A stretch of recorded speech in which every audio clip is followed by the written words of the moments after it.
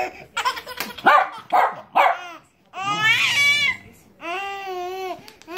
there were shepherds living out in the fields nearby, keeping watch over their flocks at night.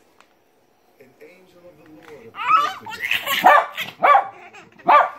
Around them, and they were terrified. Mimi, where's the bottle? Get the bottle. Do not be afraid. Where's Oscar? Get it, town Okay, go get it. Go get it, Oscar.